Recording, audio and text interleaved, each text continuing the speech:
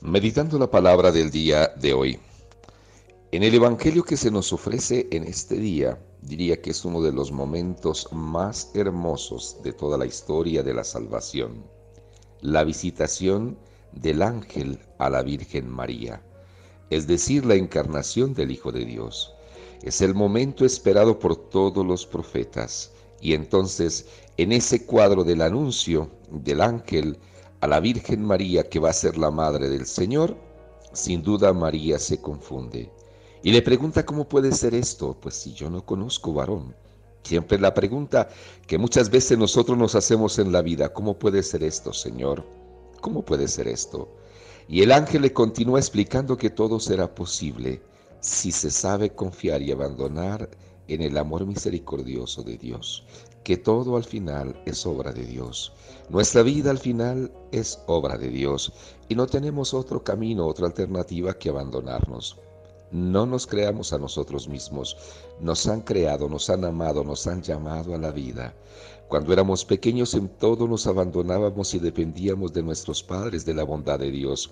Y hoy también, una vez más, en nuestras luchas, en nuestros trabajos, pues no nos queda otra más que confiar en el amor providente de Dios. Y el Dios infinito, el Dios de lo imposible, todo lo hará posible en nuestra vida como hizo posible, tal como lo describe este cuadro del Evangelio, la encarnación del Hijo de Dios. Y para que María tuviera credibilidad de eso, le hace referencia a su prima Isabel, que ya está embarazada de seis meses, a la que llamaban estéril. Porque quien está en Dios no es una persona estéril. Quien está en Dios es siempre una persona fecunda.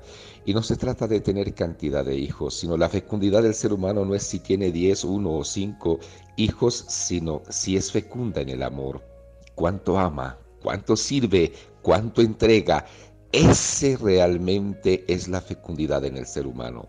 Y fue la fecundidad o mejor la esterilidad que venció Dios en eh, Isabel que de tantos años que esperaba la bendición de Dios y también llegó a su vida.